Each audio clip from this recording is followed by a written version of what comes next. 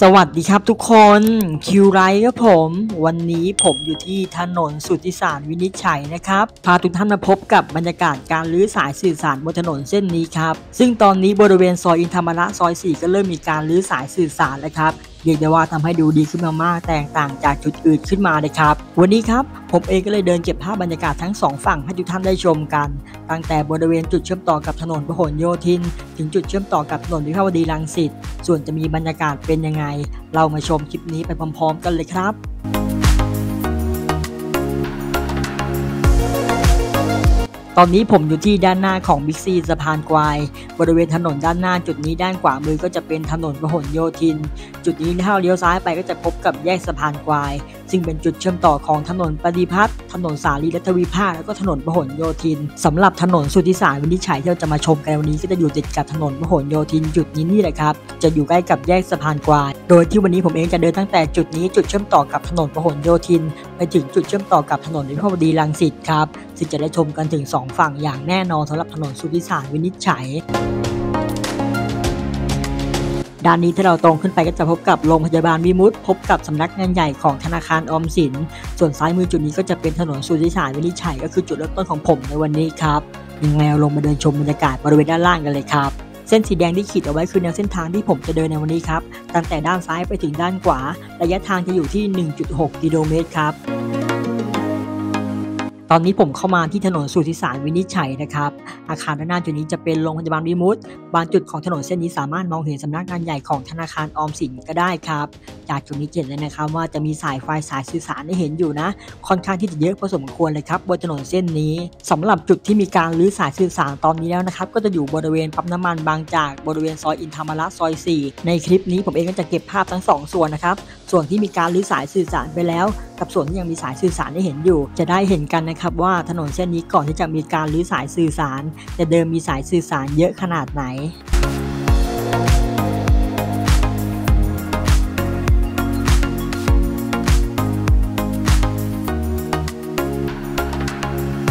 ถัดจากจุดนี้ขึ้นไปก็จะเป็นจุดเชื่อมต่อกันของถนนสาลีและทวิภาค กับถนนสุทธิสารวินิจฉัย ซึ่งจากจุดนี้นะครับถ้าเราตรงไปเลี้ยวซ้ายก็จะไปออกที่แยกสะพานควายได้เช่นเดิมครับ ข้อมูลจากการไฟฟ้านครหลวงนะครับเมื่อวันที่ 9 กรกฎาคม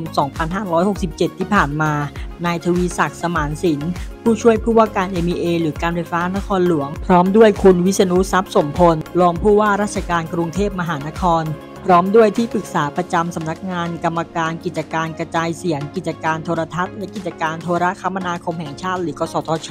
ที่ปรึกษาคณะกรรมการการบริหารสมาคมโทรคมนาคมแห่งประเทศไทยในพระบรมราชูปถัมภ์และผู้แทนจากหน่วยงานต่างๆ ได้แก่สำนักงานตำรวจแห่งชาติ ผู้ประกอบกิจการโทรคมนาคมและภาคีเครือข่าย ร่วมสนับสนุนการดำเนินงานรือสายสื่อสารถนนสุทธิสารวินิจฉัย ตั้งแต่แยกถนนพหลโยธิน ถึงแยกถนนวิภาวดีรังสิตรวมระยะทาง 1.6 กิโลเมตร ณ บริเวณปั๊มน้ำมันบางจากซอยอินธรรมระ 4 ถนนสุทธิสารวินิจฉัย ก็คือปั๊มน้ำมันด้านหน้าจุดนี้เลยครับ MEA ในฐานะหน่วยงานผู้ดูแลระบบจำหน่ายไฟฟ้าในพื้นที่กรุงเทพมหานคร นนทบุรี และสมุทรปราการ ได้สนับสนุนการจัดระเบียบสายสื่อสารตามนโยบายของรัฐบาลและกระทรวงมหาดไทย มีการกำหนดการจัดระเบียบสายสื่อสาร รวมถึงบูรณาการร่วมกัน เพื่อจัดทำโครงการสายสื่อสารใต้ดินอย่างต่อเนื่องโดย MEA พร้อมอำนวยความสะดวกในด้านความปลอดภัยจากการทำงานบนเสาไฟฟ้าให้กับหน่วยงานที่เกี่ยวข้อง เพื่อให้เกิดประโยชน์ในด้านความปลอดภัย ทัศนียภาพที่ดี รวมถึงความมั่นคงด้านระบบไฟฟ้า ลดอุบัติเหตุต่างๆ ที่อาจเกิดขึ้น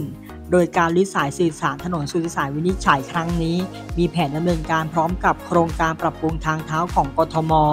าดว่าจะดำเนินการแล้วเสร็จประมาณเดือนกันยายน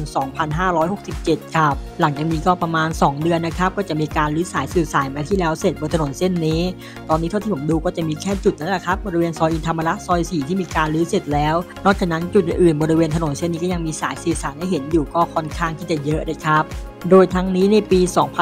2567 ทาง MEA และหน่วยงานภาคี มีแผนนำสายสื่อสารลงใต้ดินจำนวน 32 เส้นทาง ระยะทางรวมกว่า 68 กิโลเมตร ประกอบไปด้วยพื้นที่บางช่วงของถนนสายสำคัญต่างๆ เช่น ถนนสุทธิสารวินิจฉัย ถนนอโศกมนตรี ถนนศรีอยุธยา ถนนพระรามที่ 4 และถนนจรัญสนิทวงเป็นต้น นอกจากนี้ยังมีการบูรณาการกับหน่วยงานที่เกี่ยวข้อง จัดระเบียบสายสื่อสารบนเสาไฟฟ้าให้มีความเป็นระเบียบเรียบร้อยจำนวน 183 เส้นทาง รวมระยะทางกว่า 570 กิโลเมตร เฉลี่ยดำเนินงานเดือนละ 45 กิโลเมตร และในปี 2568 ยังมีเป้าหมายจัดระเบียบสายสื่อสารบนเสาไฟฟ้ารวมระยะทางถึง 800 กิโลเมตรเลยครับ ขอบคุณข้อมูลส่วนนี้จากการไฟฟ้านครหลวงด้วยนะครับ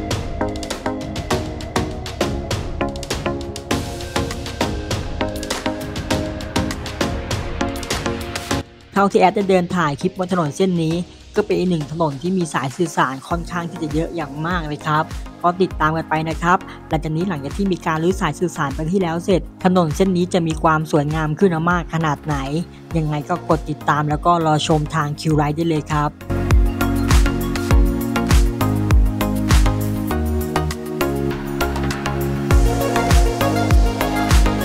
ช่วงท้ายคลิปแบบนี้ก็ขอฝากไว้เหมือนเดิมนะครับ ถ้าใครต้องการจะสนับสนุนช่องเราก็ไปกดคำว่าขอบคุณได้เลยครับ ที่ใต้คลิปวิดีโอ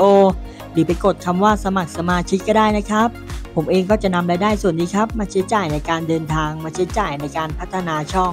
ฝากด้วยนะครับคำว่าขอบคุณที่ใต้คลิปวิดีโอ หรือไปกดคำว่าสมัครสมาชิกก็ได้ครับ ส่วนคลิปหน้าจะเป็นที่ไหนเป็นโครงการอะไรก็รอลุ้นกันได้เลยครับ ถ้าคลิปนี้นะครับมีอะไรผิดพลาดไปผมขออภัยด้วยครับ ถ้าเเพื่อนๆเห็นว่าคลิปนี้มีประโยชน์ฝากกดติดตามกดกระดิ่งเป็นกำลังใจให้ด้วยครับคิวไลท์สาระความรู้ความก้าวหน้าของประเทศไทย สวัสดีครับ